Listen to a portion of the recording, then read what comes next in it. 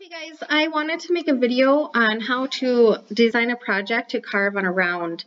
Um, I do a lot of these split monograms and cribbage boards on the smaller rounds um, that I buy from the box stores. So uh, it's a little hard to wrap your head around how to X, Y, zero on a round. So I just wanted to kind of touch on that and um, touch on how the design process goes. So I'm going to start from scratch here and create um, a split monogram. Um, and I like to start with my workspace at 18 by 18 inches. Um, most of the rounds I use, they're labeled at 18 inches, but they tend to be the workspace before the bevel begins is anywhere from 17 to 17 and a half inches. So you'll want to measure that and um, create a circle that size. There we go. Um, so this what I'm creating here is going to kind of act as a template for our design and you want to um, cut outside shape path. So now I know everything within inside of the circle is available for me to design um, anything inside of that. So with the circle highlighted, you want to center that to the material. And that's very important, and I'll kind of touch on that as we go here, why you want to do that. So I'm just going to quickly pull in a, um, a split monogram here. Change that depth a little.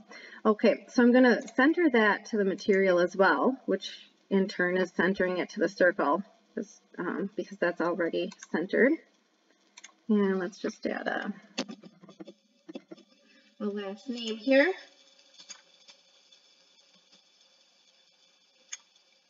And there's a couple different tricks that you can do uh, to center the name or, you know, depending on what project you're designing, um, to center things.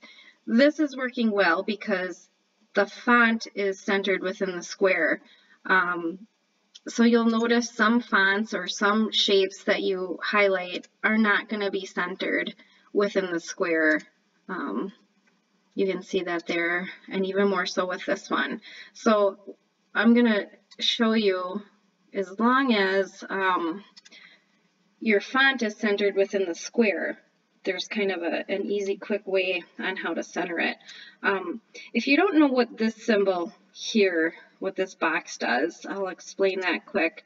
Um, right now, with the lower left circle highlighted, it's showing me the X and the Y location for the lower left corner of whatever symbol or, or font, in this case that I have highlighted. Um, so if we choose the upper right circle, it's going to change those X and Y, and that's telling us the corner of this item you have highlighted is at this location X and this location Y. When I'm centering things, I like to have the center circle highlighted um, because we know half of 18 is 9. So if I can, you know, kind of center it on my y-axis between these lines here, um, then I can go over here and easily just type in 9 and it's going to center it that way. Um, so that's nice as long as the font is centered within the box. So watch for that. All right. And then maybe we'll just add a little bit more text here.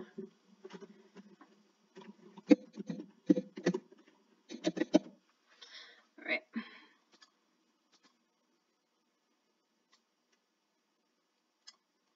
And then again, we can just kind of eyeball that about where we want it and then go over here and center it that way.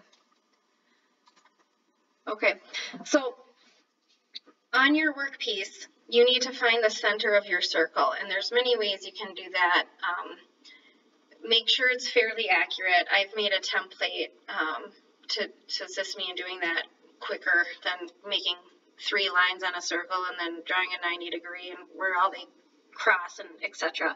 Um, but determine the center of your workpiece and draw, a, a, make a dot there so you know where that is. Um, at this point in the design here, I would duplicate. So I keep my original copy just in case I screw something up. Um, I can go back and know that that's still available to kind of tweak. Um, select all. I prefer that rather than highlighting because I know everything's going to be selected. And then it'll also kind of show me if I had something off randomly in my workspace over here um, that I forgot I put over there and I don't want to carve anything extra. So it's kind of just a way to double check things. Um, so at this point I would um, pick my carve, my cut depth. Um, I'm going to keep it pretty deep just for the sake of the video so, so you can see a little bit better. Um, now I'm going to highlight, make sure my center circle is highlighted. And I'm going to zero my X and Y. I don't know. That's, yep, there we go. Okay, so now we know that the Johnson symbol is centered within the circle, my workpiece, and that the, the um, XY0 is in the center of my design. The reason why I keep the circle there is because, let me just duplicate this here. If I remove the circle,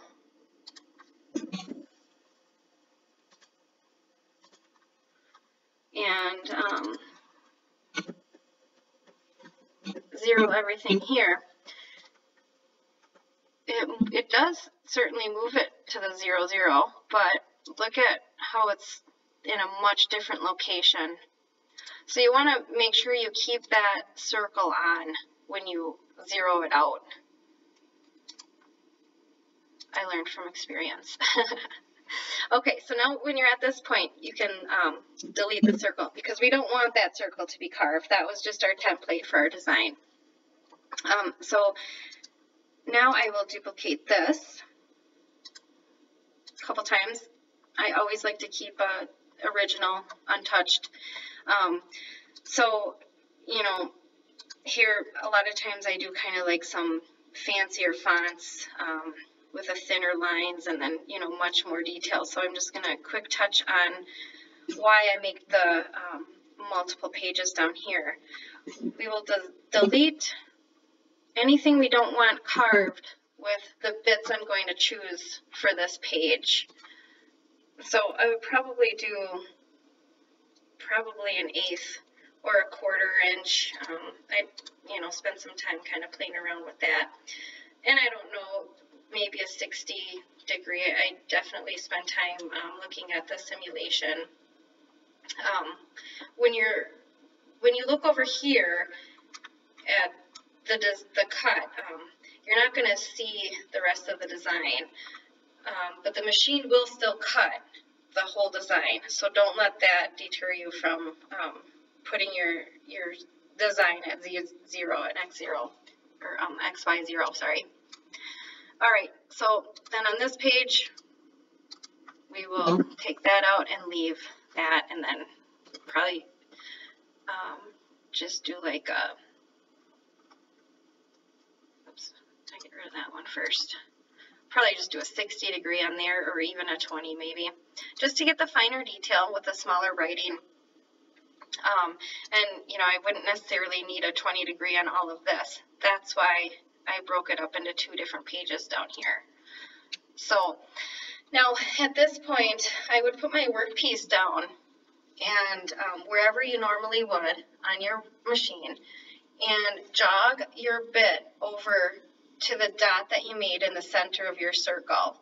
Um, so you're going to bypass the XY zeroing if you have a probe um, and just do the Z0 with your probe or your paper method, however you prefer. Um, so when you push the carve button, your bit is going to be right here. It's going to be in the center of your workspace, the circle, and it's going to start carving um, the whole design on your circle, even though it's not showing up in the detailed preview. It will still carve everything. Um, so once you do that, you switch your bits, whatever bits you determine you need on your first page there. Highlight on the next page and switch your bit out and carve again, finishing up your design. Um, I think I've touched on everything. If you have questions, leave them in the comments and I'll try to answer. Um, but hopefully this kind of gave you an idea of how to design and how to XY zero in the center. Um, and this will work for many different designs. I tend to um, design this way and carve from the center on different pieces um, for whatever reason. So let me know if you have any questions. Happy carving!